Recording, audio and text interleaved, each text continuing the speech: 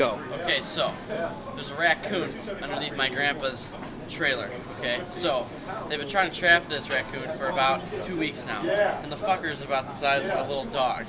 Okay, so basically, what I'm gonna do is I'm gonna take the siding out, get a spotlight, grab a rifle, I'm gonna crawl underneath there, and I'm gonna look for it, and once I find it, I'm gonna shoot it in between the eyes, I'm gonna take it, and I'm gonna drag it out, and uh, throw it in a ditch somewhere.